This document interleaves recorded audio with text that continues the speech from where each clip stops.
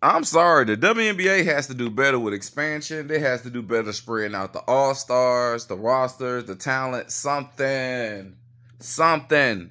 Because even when you go back to the Miami Heat, bro, with a big three, it was a big three. You go to the Warriors, it was a big four. How long did they last? You know how long A'ja Wilson had three or four All Star teammates, and I get it. It's a 12 team league. Finna add more teams. I get it. But when three teams out of 12 have four All Stars, you don't think that's a problem? Like my team, the Dallas Wings. Natasha Howard has never made an All Star team on this team. That's what I mean by All Stars.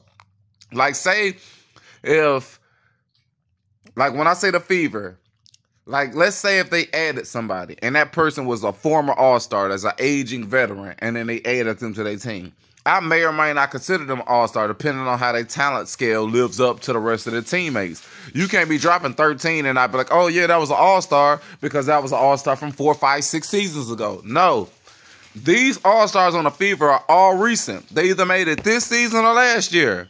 All of them. NaLyssa Smith, all of them, unless this her year three. But um, they all, it don't make no sense.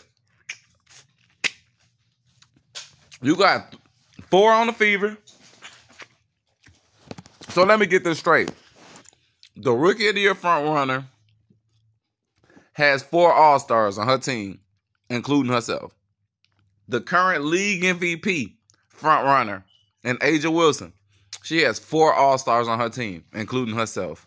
Hell, the reigning WNBA champions have four All Stars currently on their roster, the WNBA top title contenders, whereas the Aces or the Liberty, or even if you count the Fever, all have four All Stars each. And I'm willing to bet my YouTube channel that whoever wins the WNBA, whoever want to bet with me, pick the bet though. You can't be waiting all day coming back years later to tell me, give me your channel. Whoever fucking wins this year's championship, gonna have four All Stars on their team too. Watch. And because they're giving the Aces the MVP, the Asia, it'll probably be the Liberty that win. Since they ain't won and probably ever. Watch. They hot potato it. Because the year that Stewie won MVP a few years ago was the year the Asian them won the championship. It'll be the same thing with flip result. Watch. It's probably already rigged for Liberty to win. It's New York. They're just trying to increase the market. New York ain't we winning nothing, bro. The Giants ain't won nothing since what? Forever? A decade or two ago?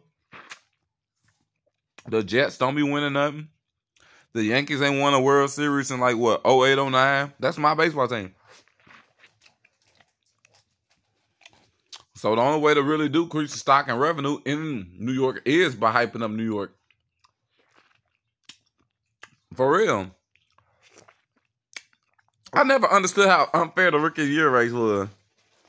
Until now. Until now. I always thought it was neck and neck because the rookies was carrying. And then I see Kelsey Mitchell do what she do for this stretch. And then I see her have big games. And then I look at Chicago and be like, wait a minute. Besides when you see Angel Reese do anything, who else gets numbers? I love Isabel Harris. She not no all-star and she's not getting you 25 or 35 randomly on the game um, Kamilla Cardoso. She's a budding all star potential as a young rookie, but she's still not even better than Angel Reese currently. Angel Reese came in more ready.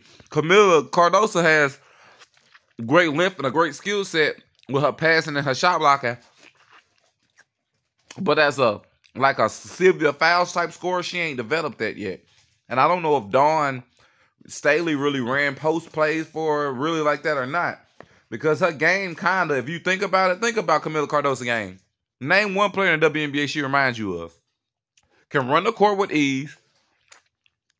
Kamilla's a better passer. They both block shots at a high level. They both lengthy. They scream shot blocking. Shakira Austin. Same type of people, but they both like Shakira was a face. She had some face up shooting to her game at first. They ever since they kept bringing EDD back in and out, back out the lineups, they sacrificed Shakira Austin's development by keeping her a straight low post player. I'm kind of nervous that's gonna happen with Kamilla. I am. But besides Angel, who goes off on Chicago? The Fever got ba- Aliyah uh, Boston, who can get you 25 or 30 randomly. NaLyssa Smith can be a Swiss Army knife on defense easily, or a point forward if she ever keep her head in the game and stop worrying about DiJonai so much.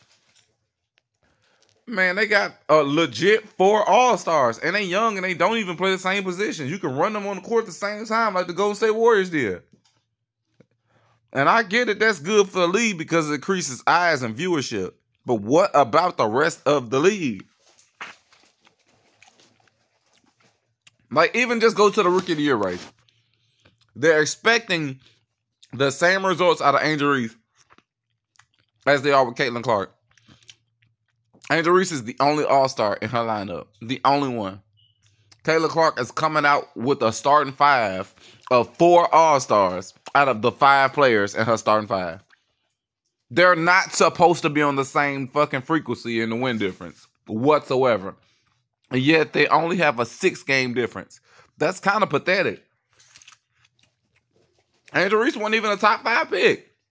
How you got the number seven overall pick, five or six games in contention from the same amount of wins as you, and you was the number one overall pick, and yet that number seven overall pick don't have no all star teammates whatsoever.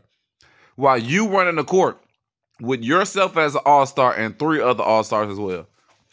Nigga, if this was somebody like a Breanna Stewart or A'ja Wilson rookie, you would have been locked up at the very beginning of the season. I ain't lying. Fans wouldn't have to put their sway in it, still telling us, oh, it's unanimous. The results would be speaking for itself. Wouldn't nobody have to say it. A Fever fan wouldn't even have to comment it. It'll be apparent.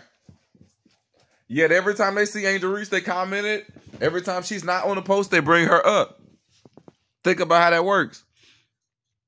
It's like you gotta see it through for yourself because you don't really believe what you're currently seeing as well.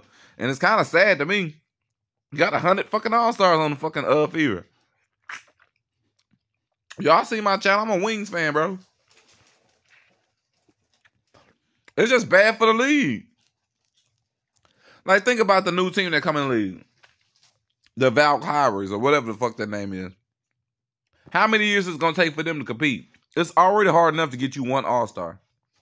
It is, unless you just draft good. And a lot of these teams don't draft good, and they cut a lot of their top players. First round picks can be out the league before they even play their first WNBA game. You know how my Dallas Wings did, nigga. We done cut plenty of first round picks, plenty. So just drafting a top pick don't mean a damn thing. Where's Charli Collier at? She ain't even in the league. She was the number one overall pick in the draft, if I ain't mistaken. The number one pick in her draft, bro. Not even five years ago, if I ain't mistaken. She's not in the WNBA at all. She's a coach now. So having a high draft pick, it don't even guarantee you a great team. It don't even guarantee you within five years you're a great contender. It don't. Dude, my Dallas Wings got two legit All Stars, and that's what it's been since Satou been in the league. And yet, w- have we been? Dude, we won one playoff game in like five or six years, bro. In five years since I, in Satou whole career, we won one playoff game. How many playoff games have the Aces won in the last two years, bro? It's easy as hell when you got four All Stars. Hell, so for the other um, nine teams in the league, if you ain't the Aces, Fever, or a Liberty fan, you might as well not even root for your own team. They not gonna win. Name one motherfucker that won championship in the last whatever years with two All Stars in the WNBA. Even the last three, four champions all got three and four All Stars on their team. And people like, well, it's 12 teams. But nigga, it's some teams that barely got two All Stars, bro. Hell, Chicago only got one. My Wings got two. Now the uh Atlanta Dream got three. Allisha Gray, CP, and um Rhyne Howard. But still, it's a lot of teams that barely even got fucking two All Stars. The Mercury, what? DB and Alyssa Thomas. That's it. The Storm got what? Like three or four. Skylar, Ezi. Mm-hmm. But like I said, you might as well root. And then a lot of these teams who got their big four, you might as well like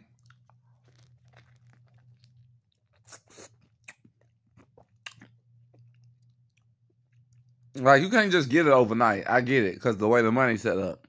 Like the Aces, they had to get Chelsea Gray's a free agent. Uh, they had the the Fever. They didn't get their big four until they drafted CC because they already had the three All Stars. Seattle didn't get this big quarter they got until Skylar Diggins came over. I get it. But what's the likelihood your team really is going to be sitting on three All Stars waiting on the fourth one? I'm like, come on, bro. It's like you might as well not even root for your team to win shit, bro. Watch every regular season game and then just come play out say fuck it. I swear. Y'all niggas can't play me, bro. Ain't no way in hell the rookie of the year front runner, the MVP front runner, and the title contender front runner all got fucking four All Stars, bro. And you telling me to tune in each week, each game, like it's some any given Sunday type shit. When the results are already predetermined for the niggas with the four All Stars to win. What's the point of being a fan? I might as well root for their teams. I'm just saying, bro, ain't no fucking parity. The NBA realized that was a problem, and they showed. I don't give a fuck what you say. You really think KD wants to lead the Warriors?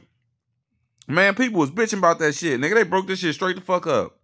It felt impossible to beat. Well, in the WNBA, because they ain't have great viewership, they promote and encourage the shit. It's crazy.